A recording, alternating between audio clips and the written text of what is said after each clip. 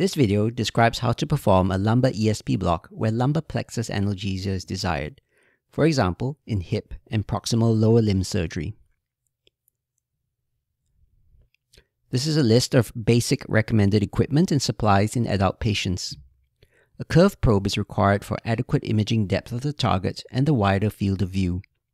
The erector spinae muscle is much thicker in the lumbar region compared to the thoracic region. Similarly then, a block needle of at least 80 to 100 millimeters in length is recommended. As with most fascial plane blocks, spread and thus clinical efficacy is volume dependent, so at least 20 milliliters of a long-acting local anesthetic is recommended in adults, and up to 40 milliliters has been described in the literature. However, side effects such as motor block and hypotension from epidural spread will be more common with the higher volumes. The intensity of the block and thus the effects can be further modulated by varying the local anesthetic concentration to meet maximum recommended dose limits. Epinephrine should be added to detect intravascular injection and to reduce systemic absorption. Access to the back is required, and so patients must be placed in sitting, lateral, or prone positions.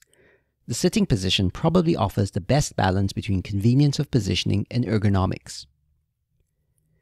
There are two possible imaging and needle approaches to performing this block. The first is a parasagittal view of the transverse processes with an in-plane needle approach from either a cranial caudal or caudal cranial direction, depending on what feels most ergonomic.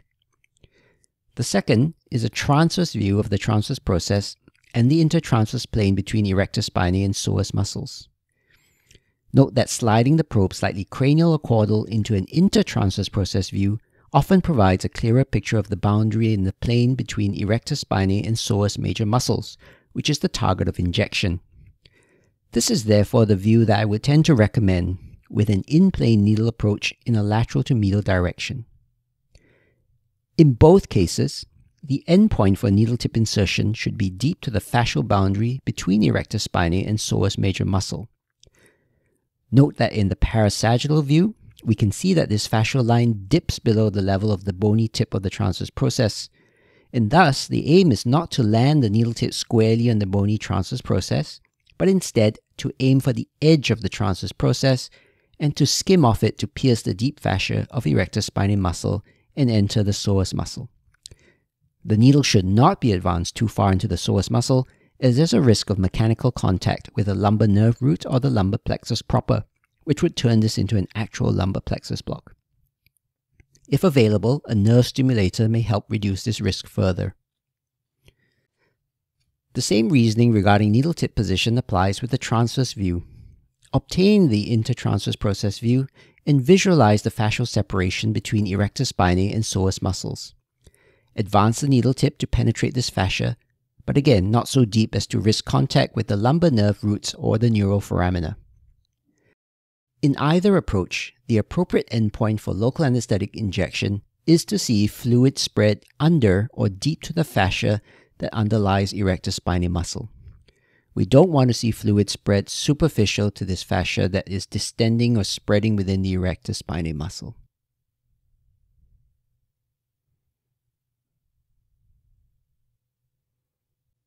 An appropriate target level is L23 or L34, considering the innervation of the relevant structures that are the source of hip and proximal lower limb pain. The psoas muscle can be highly vascular and complications related to vascular puncture are well reported in the lumbar plexus block literature. This is another reason not to insert the needle tip too deep into the psoas major muscle. Take the usual precautions to minimize vascular puncture and the risk of LAST, including negative aspiration, epinephrine containing local anesthetic solutions, divided injection boluses, and using color Doppler imaging if suspicious. As with almost all ultrasound guided blocks, an out of plane needle approach is also possible in either of these views, but I don't see a clear advantage in this case. This next video will illustrate the performance of a lumbar ESP block in the sitting position for elective hip surgery using a parasagittal in-plane approach. Place the probe over the sacrum and count up to the desired interspace using the parasagittal oblique view of the laminae. Once the target level is reached, L23 in this example, slide the probe laterally to image the transverse processes. If the dropout shadows disappear, this means the ultrasound beam is too lateral, and the probe should then be slid medially to reacquire the transverse processes. Insert the block needle in plane to the beam. Adjust the needle angle as needed to avoid directly striking the transverse processes. Advance to pierce the fascia separating erector spinae and psoas major muscle. Hydrolocation with half a ml of fluid will confirm needle tip position.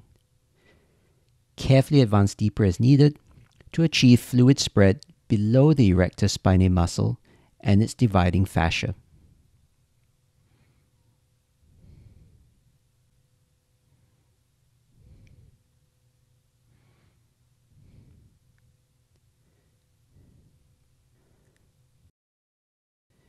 Inject the total volume of local anesthetic as desired once appropriate needle tip position has been achieved.